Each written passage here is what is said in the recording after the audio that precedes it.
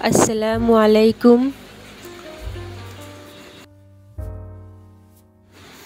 আজকে আমি বানালাম বাড়িতে থাকা সব উপকরণ দিয়ে সহজভাবে ডিম দিয়ে বিরিয়ানি।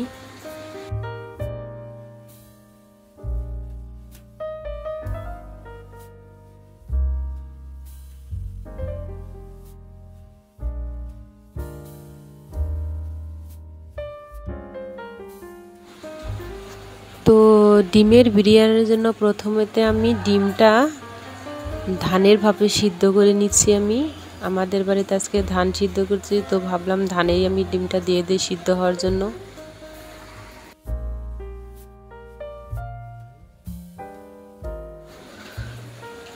তো ধানটা গরম হয়ে যাওয়ার পর ধানে আমি ডিম কেটা দিয়ে দিলাম।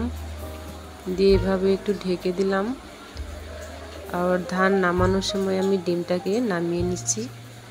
নামিয়ে ভালোভাবে খোসাগুলো সারিয়ে নিব।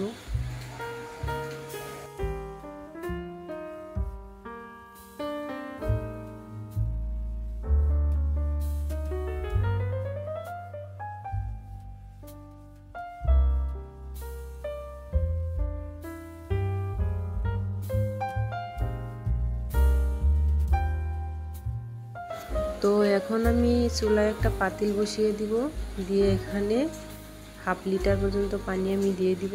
তারপরে এখানে আমি দিয়ে দিলাম তেজপাতা, এলাচ গোলমরিচ লবঙ্গ, দারচিনি, এসব আমি দিয়ে দিলাম। তারপর আমি দিয়ে দিব এক চামচ পরিমাণ ঘি আমি এখানে দিয়ে দিলাম। তারপর আগে থেকে ভিজিয়ে রাখা চালটা আমি এখানে দিয়ে দিচ্ছি। তো দুয়ের থেকে তিন মিনিট পর এই চালটা সিদ্ধ হয়ে যাবে, তো আমি এটা এভাবে তুলে নিব।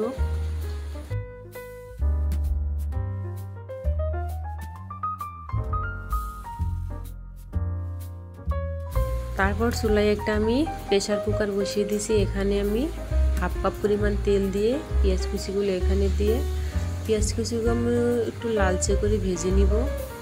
তারপর এই পেঁয়াজ কুচিটা ভাজা হয়ে গেলে আমি এটাকে নামিয়ে নিব।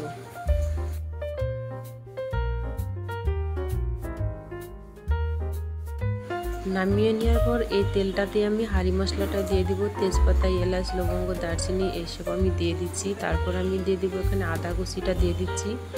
তারপরে একটু এগুলো নেড়ে চেড়ে দিয়ে এখানে একটু জিরা দিয়ে দিলাম আমি। তারপরে এখানে দিলাম করিন্ডর পাউডার, ধনে গুঁড়ো, মশলার গুঁড়ো, হলুদ গুঁড়ো। তারপর আমি দিয়ে দিব মরিচের গুঁড়ো। তারপরে দিয়ে দেবো বিরিয়ানি মশলা। এসব কিছু দিয়ে আমি নেড়ে চেড়ে নিব। তারপরে এখানে আমি দিয়ে দিব, আগে থেকে ব্লেন্ড করে রাখা টমেটো। টমেটো সসটা আমি দিয়ে দিচ্ছি এখানে।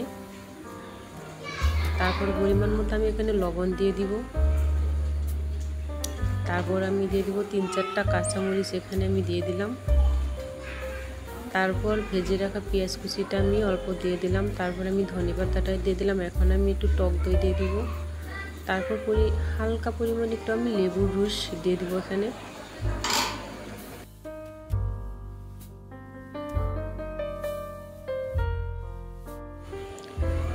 তারপর আমি দিয়ে দিব বয়েল করা ডিমটা আমি এখানে দিয়ে দিলাম। তো আগে থেকে আমি ডিমটা ভেজে রাখিনি, আমি এখানে বয়েল করে ডিমটা এখানে এভাবে রেঁধে তারপরে এখানে আমি চালটা দিয়ে দিব একটু করে। ডিমটা একটু, যেহেতু আমি ডিমটা ভেজে নিয়ে নেই, সেজন্য আমাকে হালকা পরিমাণ পানি দিয়ে ডিমটাকে আমি ভালোভাবে কষিয়ে নিলাম। তারপরে এখানে আগে থেকে যে চালটা আমি রেখে দিলাম, সিদ্ধ করে সেটা আমি এখন এখানে দিয়ে দিচ্ছি।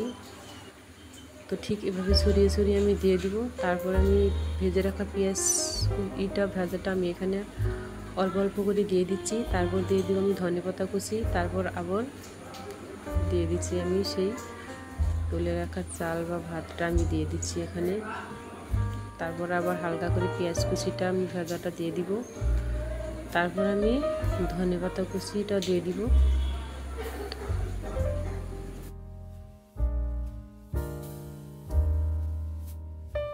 তো সব কিছু আমার দেওয়া হয়ে গেছে। এখন আমি একটু হালকা করে নেড়ে দিব।